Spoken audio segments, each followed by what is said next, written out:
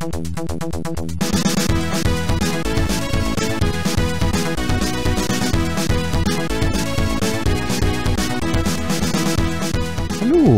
heute schaue ich mir wieder einen alten Spieletitel an. Mit Tony and Friends in Kellogg's Land handelt es sich um ein Spiel für den Commodore Amiga. Das Ganze ist 1994 erschienen, ist neben dem Amiga auch für den IBM PC umgesetzt und wurde von Factor 5 im Auftrag von Rauser entwickelt. Wer das Spiel als Original beziehen wollte, konnte es für kleines Geld direkt vom namensgebenden Frühstücksflockenhersteller bestellen.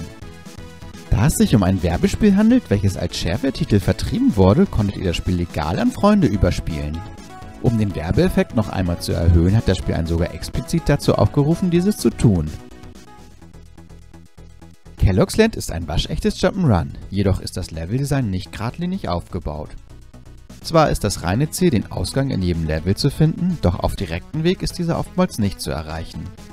Zum einen stellen sich euch verschiedene, zunächst nicht bezwingbare Hindernisse in den Weg oder Plattformen, die scheinbar nicht zu erreichen sind. Zum anderen gibt es Türen, die farbig markierte Türschlösser haben und nicht direkt aufgehen wollen. Zum Glück helfen euch dabei die verschiedenen Maskottchen des Lebensmittelherstellers.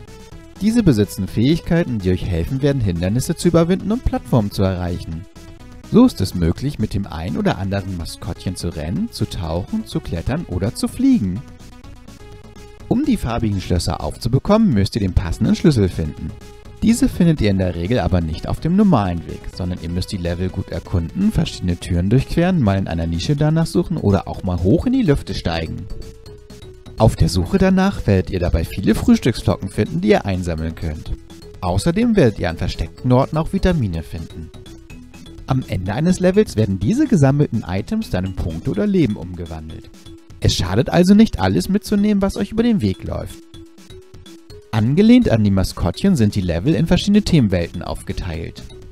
Habt ihr einen Abschnitt abgeschlossen, wartet noch ein Endgegner auf euch, den ihr am Ende der Welt besiegen müsst. Habt ihr diesen überstanden, geht es weiter in die nächste Welt. Tony and Friends in Kellogg's Land ist ein kleiner, netter Plattformer, der solide Jump'n'Run-Kost mit sich bringt. Die Level laden dabei zum Erkunden ein und ihr werdet ein paar Stunden unterhalten, bevor ihr das Ende zu sehen bekommt. Die verschiedenen Fähigkeiten der Maskottchen sorgen dabei für Abwechslung. Hinzu kommt, dass die Figuren nett animiert sind und ihr Vorlagen aus der Werbewelt gerecht werden. Das Spiel erfindet das Rad zwar nicht neu und ein Speicher- oder Passwortsystem fehlt komplett, aber wenn ihr damit leben könnt, dass es sich mehr als eindeutig um eine Werbung für bekannte Frühstücksflocken handelt, habt ihr einen kurzweiligen Plattformer vor euch, der euch durchaus Spaß machen kann. Ich wünsche viel Spaß beim Ausprobieren.